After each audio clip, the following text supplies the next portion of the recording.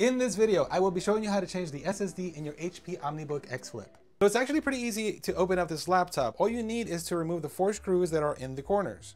For this, we are going to be using the PH0 bit from our iFixit kit. We're gonna start out from the top and work our way around and make sure that you do not mix up the screws because we never wanna mix up any of these screws. So we'll start from the top one and take out the other ones.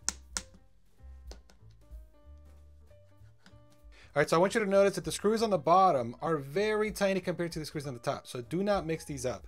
The other thing that I want you to notice is that one of the screws at the top right corner does not fully come out. That one actually is there to give you a gap so you can actually get into the laptop, which is very convenient to have and I wish that more manufacturers did this. So now that the screw created a gap for us, we're actually gonna continue on there and try to pry into the laptop slowly to try to get the lid to come off.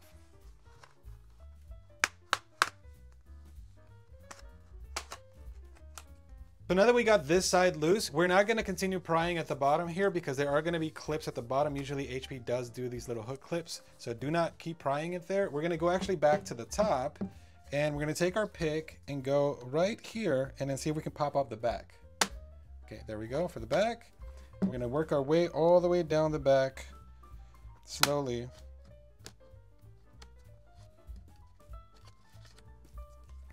And we're not going to force anything. Never force anything, okay? So take your time. Okay, there we go. And then we're going to pop out the other side here. And then work our way around the left side of the unit.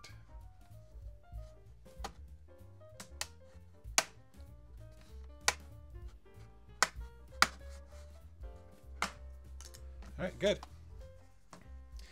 This should now be loose enough to where we can kind of wiggle it out. And wiggle. There we go. And I want you to see the hooks that I'm talking about. So the front of the laptop actually has these little clips here that you do not want to break. And there's a closer shot to them. So those are going to go in the front and they're going to hook inward. So if you try to pry at those, these are going to start popping off and you don't want clips flying everywhere. So let's take a look around in the laptop itself. Here we have the giant battery. On the top left, we have the fan that's gonna cool the heatsink that's attached to the CPU and APU.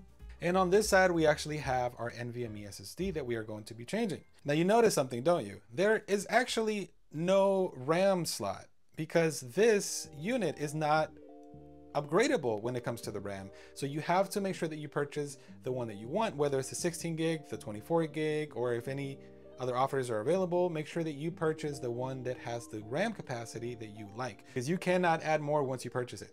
The SSD though, it is upgradable, so we're gonna be taking that out and adding ourselves in a one terabyte. All right, before we do anything though, we are going to unplug our battery. This is common practice when it comes to working on a laptop because you don't want to accidentally touch something that's gonna cause a spark and it's gonna short out your system. Just take your fingernails and pull towards you on these little two tabs that it has, and it should come right out. Now that our battery is disconnected, we can go ahead and work on the SSD. To take the SSD out, we're gonna be using the same PH0 bit, and we're gonna take out the two screws that are attached to this plate. Make sure you don't mix up the screws. It doesn't matter if they look the same. I try my best not to mix them up, and I always put them back where they came from. Now that the two screws are off, we're gonna kind of lift up on this plate and it shall reveal our SSD. Our SSD is going to be quickly removed by lifting it slightly up. Don't push it too far or else you're going to damage your SSD and then pull it towards you. In case you want to see what SSD this base unit comes with, it is a 512 micron NVMe SSD.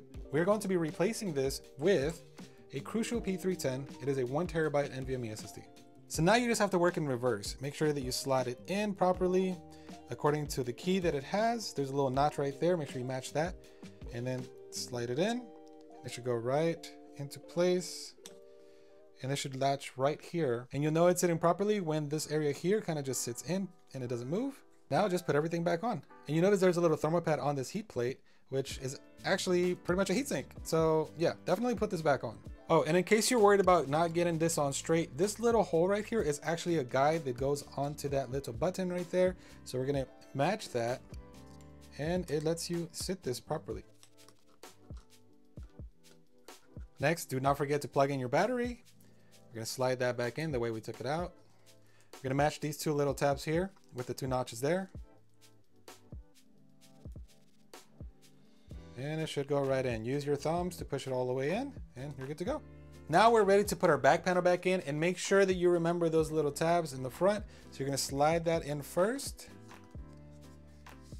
And make sure that those go in. There we go. Prior to going all the way around. We're gonna go around the sides. And remember that the top right does not fully go in, so work on everything else first. There we go. So now we have the whole front in. We have this side fully in. We have that side almost fully in except for that corner. And of course the back is fully in except for that corner. And that corner is going to be screwed in.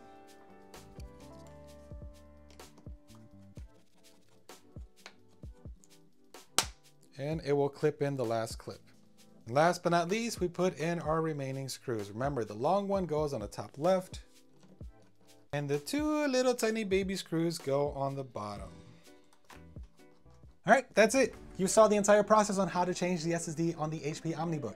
It's actually pretty simple. Now, of course, I only showed you the hardware part of it. For some of you, that is plenty of information and you're just gonna go ahead and plug in a Windows operating system and install a fresh copy of Windows anyways. But if you need to clone your NVMe to the new one, Make sure that you check out the video in the description below because I will show you how to do that. I hope this video was very helpful to you. Until next time, see you in the next video. Take care of yourself.